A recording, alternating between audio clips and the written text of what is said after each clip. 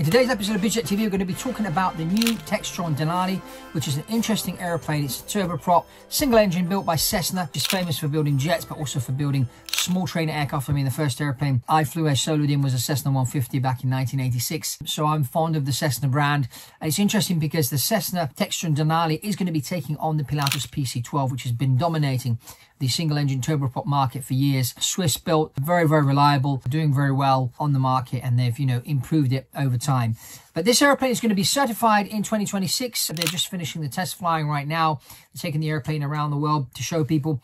And what are the features? Now, for many years, the dominant engine for turboprops was the P PT6. The Textron guys have done is they've teamed up with General Electric, who have built a brand new engine, which is why this airplane is taking time to be certified. When an airplane gets certified, they have to certify the airframe, they have to certify the avionics, they have to certify the engine. So when you're building a new airplane, if you already incorporate an engine that's already been certified, an avionics that's been certified, it just costs you less to certify the whole airplane and get it on the market than if you're doing something completely new. Well, what they've done here is they've come up with this new engine, which is 1300 horsepower catalyst engine built by General Electric. Uh, apparently it's a very, very good engine. It's going to do very well. Performance will, will, be great. What they've done with the Denali, they put the, the avionics up front is the Garmin 3000, which I think is one of the best avionics suites out there with the magic button you can press if the pilot suddenly passes out. You can press the button and the airplane will land on its own. So that's a great feature. Compared to the PC-12, the avionics are not as easy to use as the Garmin 3000.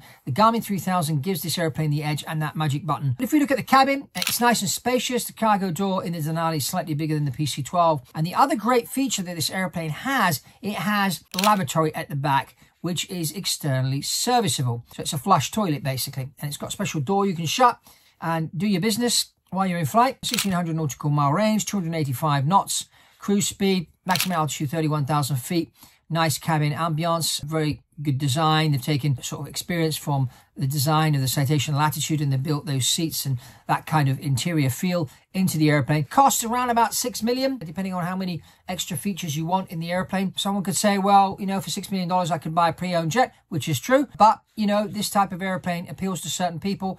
It can land on grass. It can land on very short airstrips. So, you know, if you're flying, your range where you need to go is within, I'd say, 600 nautical miles. This is a great airplane you need to look at. What do you think? Who's going to win the race between the Denali and the PC-12?